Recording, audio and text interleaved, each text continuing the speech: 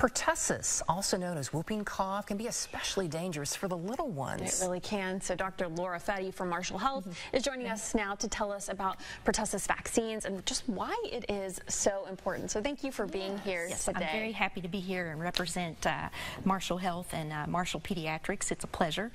Uh, so first off, I'll just let, start by telling you a little bit about the pertussis. So Yes, pertussis is a um, it's a bacteria Okay. that can get into the lungs and it attaches to the lungs and it releases toxins and it causes edema and swelling, lots of mucus. Okay, so you can imagine in the little ones in particular, with real small airways, it can be very uh, dangerous Mm-hmm. uh, and deadly to, to the to all ages, but especially the tiny ones. Yeah. So, of course, in the beginning of life, the first couple of months, the uh, infants don't have the ability; they don't have the vaccine yet. Right. They don't get their first vaccine until.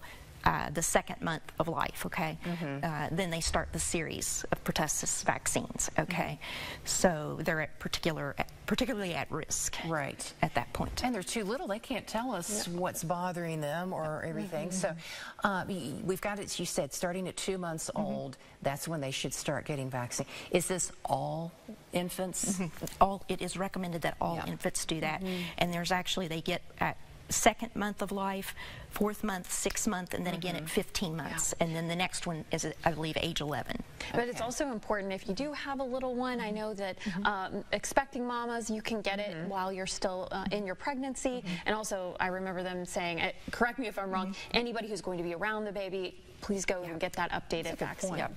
That is is correct, and that's really what I wanted to focus on was protecting our our small children under the age of one, in particular, by all caregivers who would be adult caregivers being up to date on their uh, tetanus or their uh, pertussis vaccine, um, and everyone can get that shot. It's it's easily um, accessible in, at pharmacies. You can get it at your physician's primary care physician's office.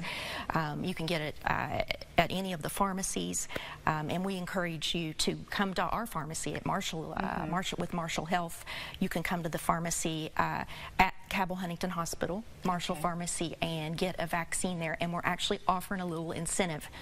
Um, we have a grant uh, from the American Academy of Pediatrics, uh, gave us a grant, and we are giving $20 gift cards to any of the adults who will come and get vaccinated through the Marshall Pharmacy, bring proof of their vaccine to the pediatrics floor, which is on the third floor uh, at the hospital.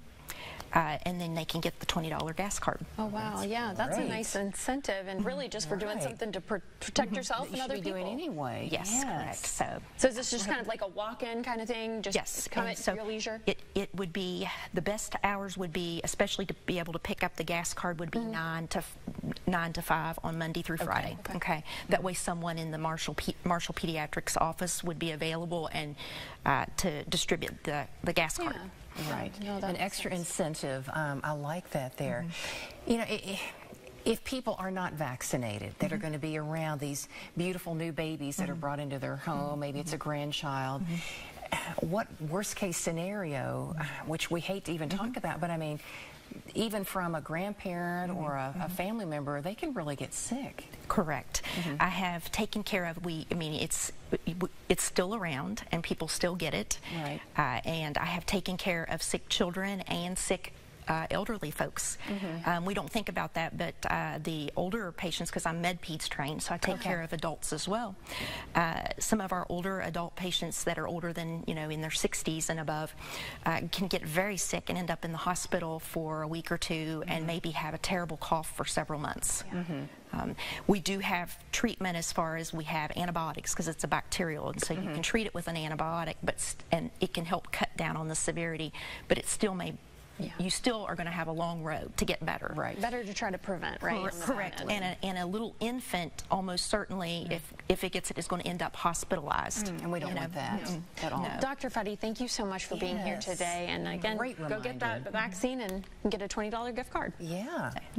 Thank you.